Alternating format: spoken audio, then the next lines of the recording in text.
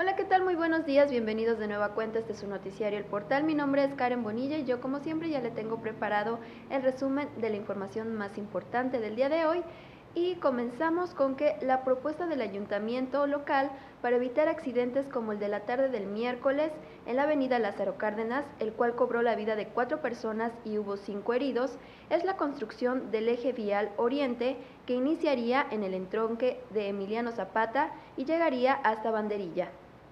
Ante la urgencia por mejorar la seguridad vial, el alcalde Américo Zúñiga Martínez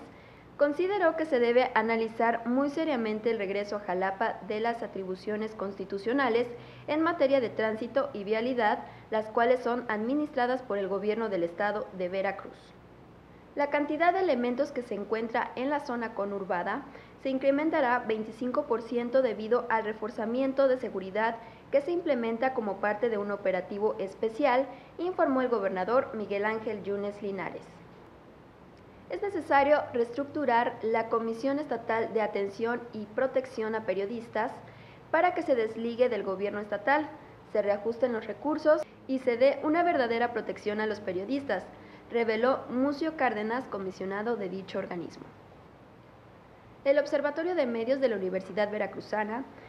documentó hasta diciembre del 2016 919 reportes de violencia contra las mujeres. Se cuantifican 304 desapariciones y 176 homicidios, de los cuales 134 deberían ser considerados feminicidios, informó la diputada Tania Carola Viveros. El presidente de la Comisión de Vigilancia del Congreso del Estado, Juan Manuel, informó que hay problemas para el manejo financiero en los municipios de Medellín, Minatitlán, Cosamaloapan, Acula y Bandeirilla, por lo que se podría intervenir las tesorerías. La secretaria de Trabajo, Previsión Social y Productividad,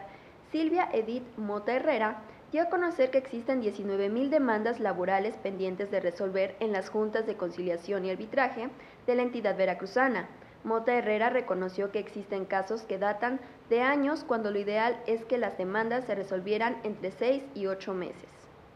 Al visitar el Hospital de Alta Especialidad de Supango a los lesionados de la explosión del mercado San Pablito Tultepec, el presidente Enrique Peña Nieto expresó su apoyo a líderes de artesanos y a los 300 locatarios para que reinicien sus actividades el año próximo. El mandatario también reiteró, en nombre propio y del Gobierno de la República, su solidaridad particularmente con las personas que han perdido un ser querido y con las que resultaron lesionadas por la explosión registrada el martes pasado. El Gobierno de la República no descansará hasta poner punto final al flagelo de la impunidad, aseguró el secretario de Gobernación Miguel Ángel Osorio Chong al inaugurar el día de ayer, acompañado del gobernador Mariano González Sarur, la sede del Poder Judicial de Tlaxcala.